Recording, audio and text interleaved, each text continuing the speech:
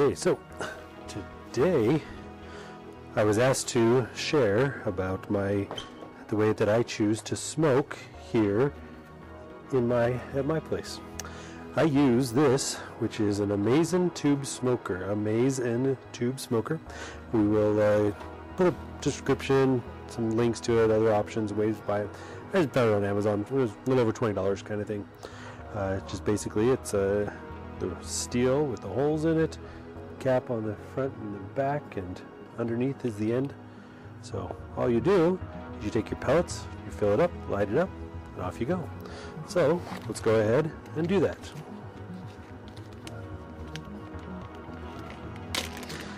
I take the pellets that I buy in the large 40 pound bags and I put them down to these smaller bags. Because this uses such a small amount, about a cup and a half of pellets, then a 40 pound bag of this lasts me forever. And if I'm always opening the 40 pound bag to be able to get to it, it takes forever to go through it. And may as well just have a small bag that lasts like this very easily. Right, so I usually do it on the kitchen counter inside, but the counter is not clean enough, and my wife said, no, you are not doing that in the house. she didn't, but I, I understood she wouldn't want to have it seen on camera. All right, so just simply take it and fill it up.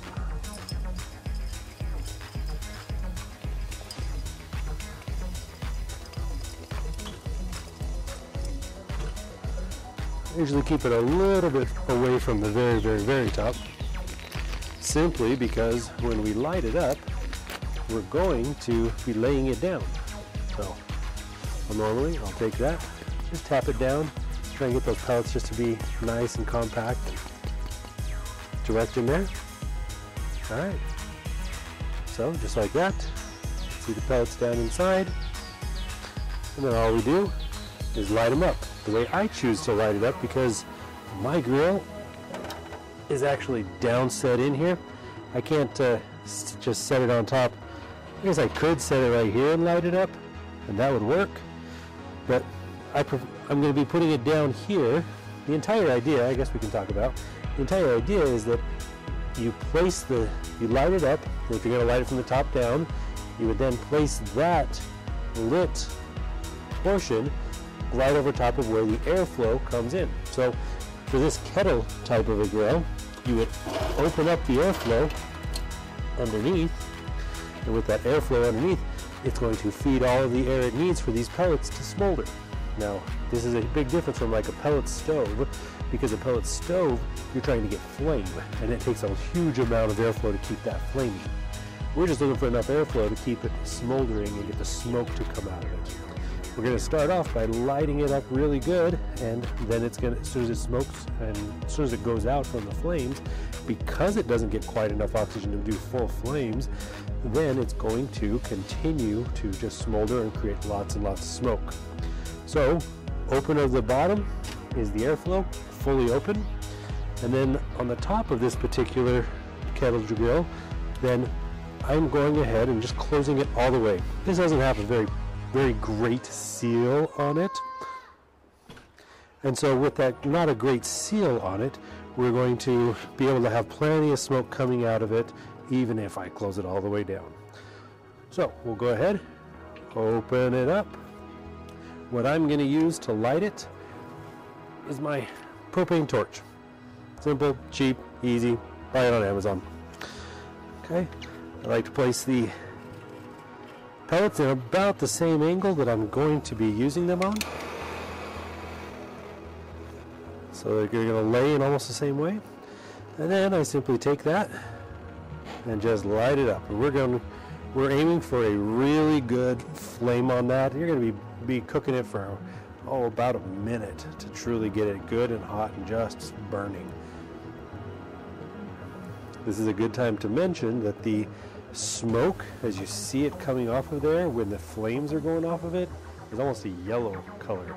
And you, you really want to be not using that yellow color of smoke on the um, on the food when you're cooking. When you're, what I normally do is uh, cold smoke. So I'll smoke something and then I will cook it after the fact. So with that being the case, we're just going to let this cook and cook and cook. Once this uh, gets lit up nicely and then it starts to smolder, that smoke will go from a yellow smoke like that it'll become more of a, of a white smoke. Uh, you'll read sometimes on the internet about white smoke versus blue smoke. And uh, when you're cooking in like a Traeger or something like that, where you have the actual flames coming off of it, then it's a it's using a little bit different technique, but the flavor comes out almost identical. So be aware that the, the blue smoke you hear about is going to be very similar to the white smoke that you get off of this type of a device. Okay. You can see the really good flames coming off of that. With that, I believe this is going to stay lit long enough to really smolder and make that a good burn for the rest of it. So now all I do is I take that and I set it inside the grill, turn off my torch real quick. All right, torch is off. I'm just gonna set that right over top of the opening for the air down below. And I'm just gonna let that continue. And you can see it's already going down a little bit because of the lack of the, the, the oxygen for it. So now this is gonna go for a couple of minutes and then we will be ready to cover it and continue with the next step. So I'm going to let that uh, let that go and we'll come back and check on that in a moment. Here we can see how much smoke is coming off of this particular type of a smoke generator, this uh, amazing tube smoker.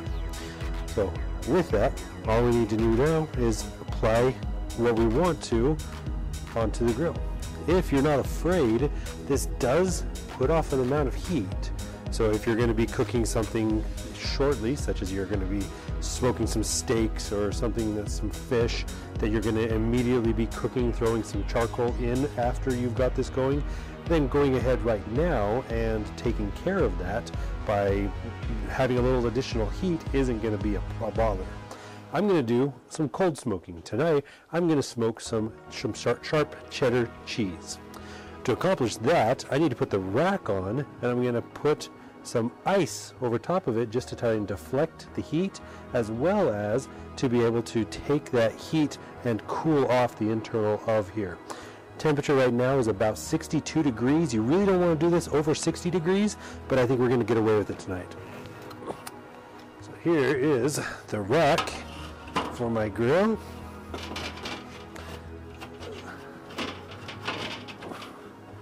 There we go. You can see absolutely how much of that smoke is coming up out of there. Absolutely beautiful.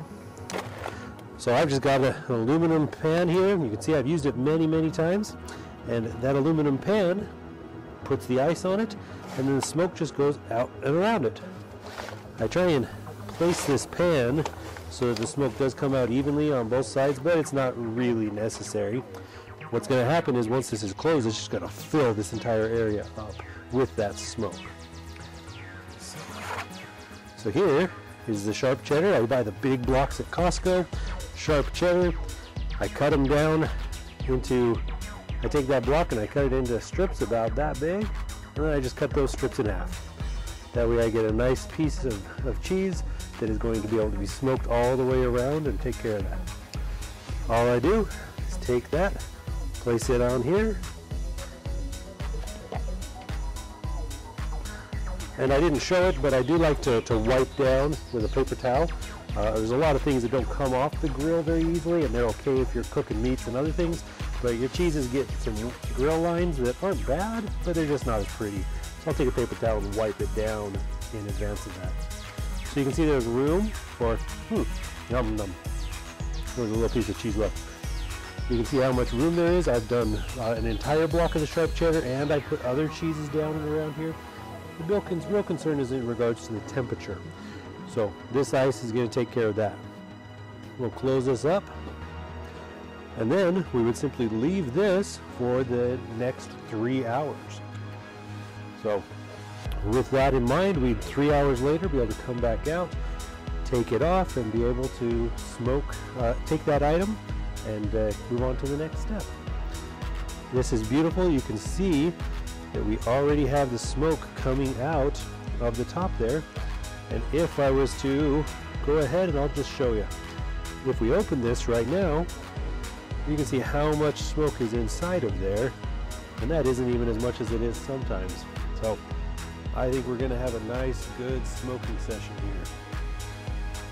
All right, so we'll leave that for a little bit. It'll be three hours later, and then we'll check all this out and see how it's going. You can see the smoke that's coming off of this and how much is still there. This is a, about an hour later. I'm not going to come back. I'm not going to be able to take the extra time to video later tonight. Once it's all done, it's going to be quite late and I'm going to want to go to bed. So I wanted to show you how much smoke is coming off of this right now. See right there at the top. There's some smoke coming out of it. And this is what's escaping. Even here, all the way around all the edges, this is the smoke that's escaping after. So I'll put you back on the tripod. Go. And let's open it up show you what it looks like real quick. See all the smoke coming out of there? That is a crazy amount of smoke that comes out of it. It condenses the smoke from that tube into such a small confined space, and that is just intense. I'm going to go ahead and close it, let it continue to smoke.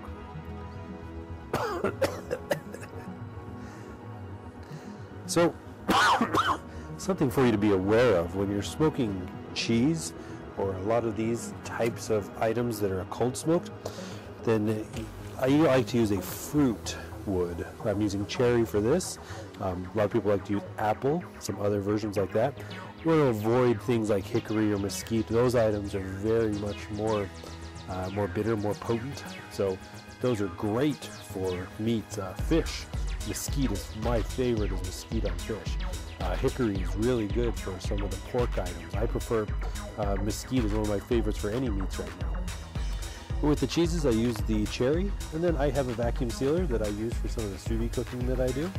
So with that, I just take it and make a small little package, vacuum seal it.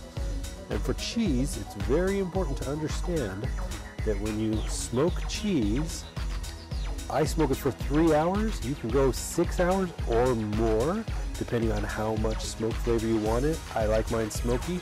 I like to go more, but I'm oftentimes sharing it with other people, so three hours is where I stay. With that in mind, I vacuum seal it to keep all the air out and to store it. I throw it in the refrigerator for a week minimum so that if you eat it right when you smoke it, then it's going to be bitter. It's going to have the uh, almost taste like an ashtray rather than a nicely smoked piece of cheese. If you vacuum seal it and you leave it for a week, then that just tempers through and evens out that flavor so that it, the smokiness is more throughout. It's not bitter and it's just a fabulous thing. About one week is what I recommend. Two weeks, uh, you're doing better. You can keep it in there for a month to two months after you smoked it in the vacuum seal. Once you open it up the vacuum seal and start using it, you're going to want to use it in the same amount of time that you would open up cheese and use it normally. It goes bad fairly quickly, so you're looking about a week to be able to use it if you keep it sealed and try and take care of it. But if it's in the vacuum pack, you're going to be able to keep it just like that in the refrigerator for a month to two months. I haven't tried that personally. I'm just going off of what I've been told because it doesn't stick around that long. When I smoke the cheese, it's off and everyone eats it. So that is the, our enjoyment for tonight. That's what I wanted to show you.